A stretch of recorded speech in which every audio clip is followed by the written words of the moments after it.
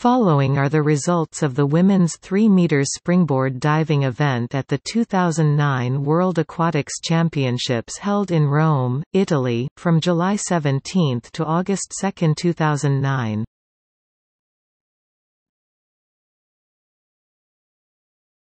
Topic: Results. Green denotes finalists. Topic: External links. Preliminary result. Semifinal result.